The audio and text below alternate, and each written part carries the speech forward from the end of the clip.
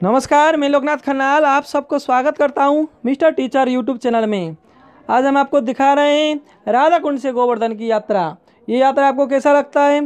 Like करना comment करना और शेयर भी कर देना। चैनल में नए आए हैं तो चैनल को सब्सक्राइब करके बगल का घंटी भी बजा देना। तो शुरू करते हैं आज का ये यात्रा का ब्लॉग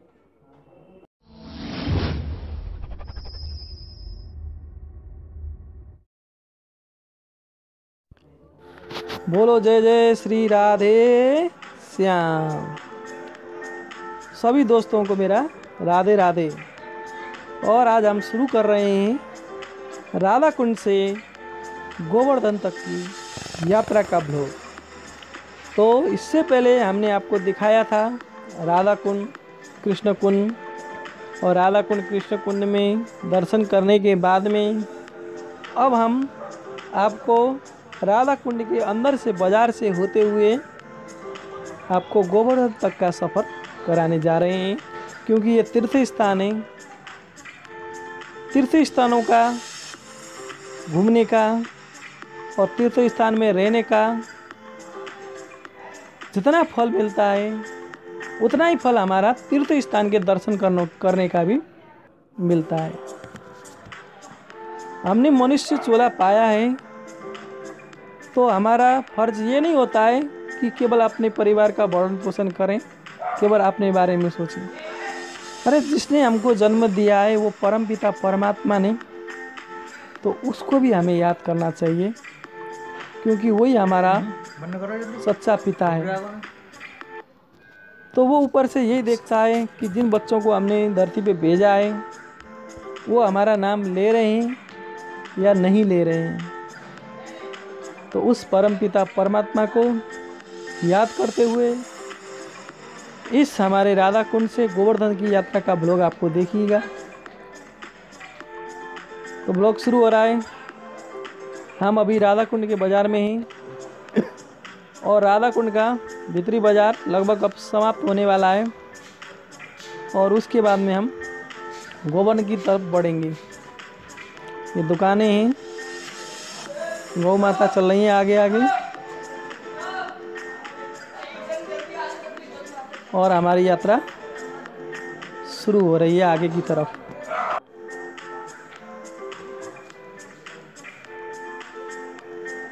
लगभग लगभग बाज़ार अब ख़त्म हो चुका है और हम अब मुख्य रोड पे पहुँचने वाले हैं। ये राधा कुंड गाँव है। राधा कुंड और कृष्ण कुंड जाएँ, उस जगह को राधा कुंड के नाम से सभी लोग जानते हैं। जब गोर गोवर्धन की हम छोटी वाली परिक्रमा लगाते हैं तो सबसे पहले राधा कुंड की ही परिक्रमा लगाते हैं। तब जा कर के इधर दूसरी बड़ी परिक्रमा लगाते हैं। तो लगभग लगभग हम मुख्य रोड पे आए, साइड से वृंदावन को रास्ता जा रहा है।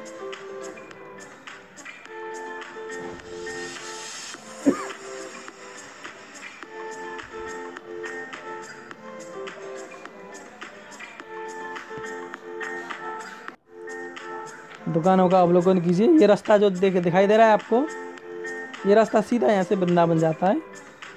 यहाँ से बसौती, जुलेंदी, राल, छठीकुरा होते हुए ये रास्ता वृंदावन को जाती है। और हम जो जिस रास्ते पे जा रहे हैं, ये रास्ता गोवर्धन की तरफ़ जाता है। कहते हैं मैं तो गोवर्धन को जाऊँ मेरी भी नाई माने मेरो मनुआ सात कोस की दय परिक्रमा माने सी गंगा नाऊ मेरे वीर नाई माने मेरो मनुआ इस ब्लॉग के साथ साथ हम इस भजन को भी सुनेंगे। अरे मैं तो गोवर्धन को जाऊँ मेरी वीर नाई माने मेरो मनुआ अरे मैं तो गोवर्धन को जाऊं मेरी वीर नाई माने मेरो मनुआ। नाई माने मेरो मनुआ नाई माने मेरो मनुआ। अरे मैं तो गोवर्धन को जाऊं मेरी वीर नाई माने मेरो मनुआ। सात कोस की दे परिक्रमा, सात कोस की दे परिक्रमा। हरि सात कोस की दे परिक्रमा, मानसी गंगा नाउ मेरे वीर नाय माने मेरो मनुआ। अरे मैं तो गोबर धन को जाऊँ मेरे वीर नाय माने मेरो मनुआ। नाय माने मेरो मनुआ नाय माने मेरो मनुआ मैं तो गोबर धन को जाऊँ मेरी वीर नाय माने मेरो मनुआ तो ये परिक्रमा भी चल रही है, लोग बाग देखो। इधर साइड में परिक्रमा लगा रहे हैं। और पैर बिना कुछ पहने हुए परिक्रमा लगाते हैं, खाली पैर। दूर दूर से भक्त लोग, श्रद्धालु लोग आते हैं और बारह महीने परिक्रमा चलती है। पुनों के समय पे, पूर्णिमा के समय पे परिक्रमा में थोड़ी भीड़ रहती है और और समय भी परिक्रमा चलती रहती है। उतनी भीड़ नहीं रहती, फिर भी परिक्रमा आप देखेंगे, बारह महीना चलती रहेगी, बारह महीना। गोवर्धन में आना, कुंड कुंड में स्नान करना, भगवान का भजन गाना, पुण्य करना। अपनो जीवन सफल करना। बड़ो भाग्य मानुष तन पायो कहा है ना? कितने जन्मों के बाद में हमने बड़े भाग्य जो किया था, पिछले जन्म का कोई हमारा अच्छा कार्य था, उसकी वजह से हमको मनुष्य का जीवन मिला है। और इस मनुष्य के जीवन में आकर के इसको हम व्यर्थ नहीं जाने दे सकते। भगवान का भजन करना है, पैर दिए हैं तो भगवान की परिक्रमा लगानी है नाचना है भगवान के भजन कीर्तन में। हाथ दिए हैं तो हाथों से दान करना है, पुण्य करना है। गरीबों का सेवा करना है, मदद करना है। आँखों से भगवान के दर्शन करना है। ये कुसुम सरोवर आने वाला है। मैंने आपके पहले वीडियो में कुसुम सरोवर को दिखाया था। आप इधर हमारे आई बटन अथवा एंड स्क्रीन वीडियो से कुसुम सरोवर को देख सकते हैं। इससे पहले कुसुम सरोवर का एक अलग ही वीडियो हमने डाला हुआ है, ये कुसुम सरोवर है।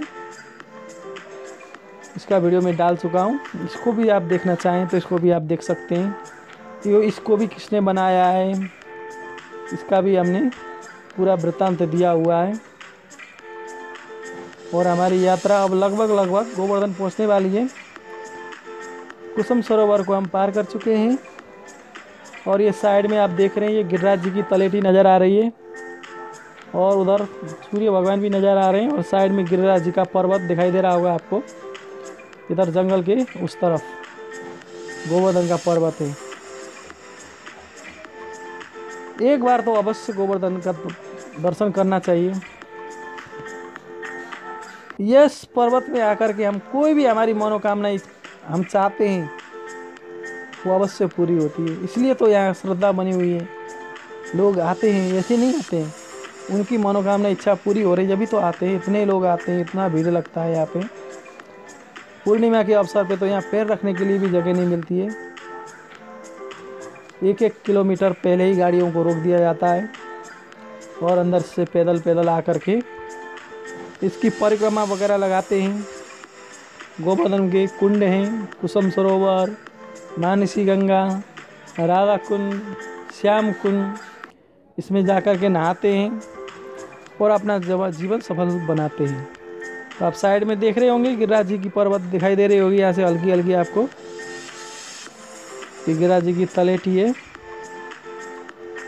और ये पैदल यात्रियों के लिए, परिक्रमा लगाने के लिए इधर कच्चा रास्ता बना दिया है, ताकि उनके पैर ना छिलें।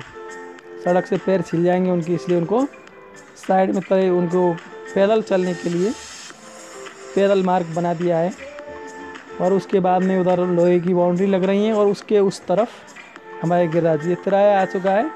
एक रास्ता बस पार्क की तरफ़ जाता है, बस स्टैंड की तरफ़, और दूसरा रास्ता ये अंदर परिक्रमा मार्ग का। ये अब हम गो, गोवर्धन की ओर जा रहे हैं। और सबसे पहले हम हर गोकुल पड़ेगा। उस हर गोकुल में हम आपको कान बाबा के दर्शन कराएँगे। कान बाबा का मंदिर दिखाएँगे। कान वाले बाबा भी एकदम सच्चे बाबा हैं। उनके पास भी जो कुछ आप मांगोगे, वो सब मिलता है। देखो, ये गिरिराज जी दिखाई दे रहे हैं आपको। साइड में गिरिराज जी का पर्वत दिखाई दे रहा है।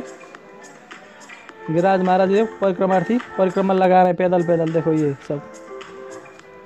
बोलो गिरिराज धरन की जय। मानसी गंगा, श्री हरिदेव।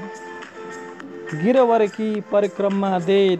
गिरवर मिस गिरिराज मानसी गंगा, श्री हरिदेव। गिरवर की परिक्रमा दे। कुंड कुंड चरणामित लेत। और अपनो जीवन सफल कर दे। ये कान वाले बाबा का मंदिर ये साइड में आपको दिखाई दे रहा है।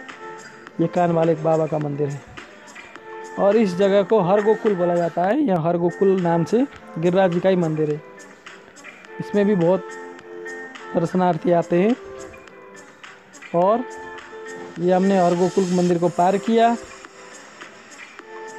अब हम इससे आगे बढ़ रहे हैं। अब हम गोवर्धन में पहुँच चुके हैं। दोनों तरफ़ आपको ये पूजा सामग्री की दुकानें दिखाई दे रही हैं। गिरिराज धारण की गिरिराज बाबा की,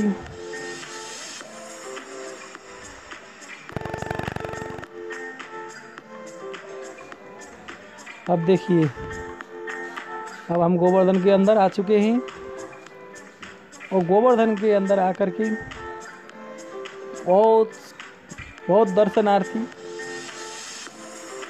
दर्शन करते हैं। मानसी गंगा में नहाते हैं। पूजा करते हैं और अपना जीवन सफल बनाते हैं। और आज का हमारा ब्लॉग यहीं तक का है। आपको कैसा लगा? अच्छा लगा हो तो लाइक कीजिएगा।